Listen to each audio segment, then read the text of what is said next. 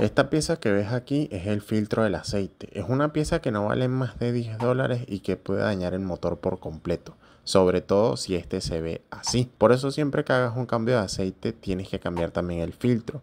Ya que he visto muchas personas que solo limpian el filtro con gasolina o con diésel y lo vuelven a colocar y esto es algo que no se debe hacer. Este tipo de filtro es el responsable de mantener en óptimas condiciones el lubricante y los componentes dentro de nuestro motor. A medida que el aceite circula a través de nuestro motor, este va recogiendo contaminantes y escombros a lo largo de todo el camino. Debes tener en cuenta que necesitas mantener estos contaminantes fuera del motor para preservar la vida útil de este mismo. La única forma de conseguir esto es tener un filtro que evite que estos contaminantes pues no sigan dentro del motor y se desechen. De todos modos, si se te ha ocurrido no cambiar el filtro, te voy a contar todo lo que te puede suceder si no lo haces. Por ejemplo, vas a tener una falsa luz del motor encendida. Esta luz no está relacionada directamente al filtro del aceite, sino que al filtro que está tapando que va afectando otros componentes del motor. Por ejemplo, las válvulas o los sensores. Y esto hace que se encienda la luz del motor, pero el fallo viene del filtro. Lo segundo que puede pasar es el super sobrecalentamiento. Esto podría ser un problema aún peor, ya que esta obstrucción puede evitar que el aceite ingrese al sistema interno del motor. Una vez que eso pasa, el motor no recibe lubricación para los componentes y como sabes la fricción entre los componentes metálicos genera mucho calor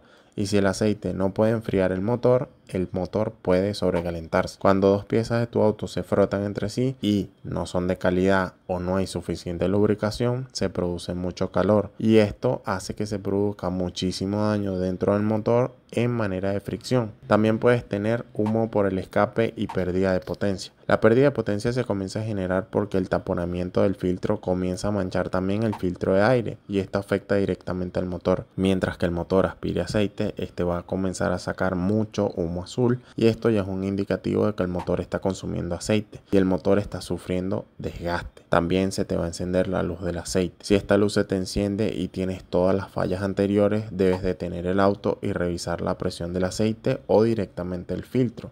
Para este punto debes prestar mucha atención porque el motor estaría en un gran riesgo de malograrse y esto es una reparación bastante cara. Siempre asegúrate de que el filtro lo cambien para que no se te dañe el motor. Espero que el video te haya gustado y si es así déjamelo saber suscribiéndote al canal y dejándome tu falla en los comentarios. Nos vemos en el próximo video.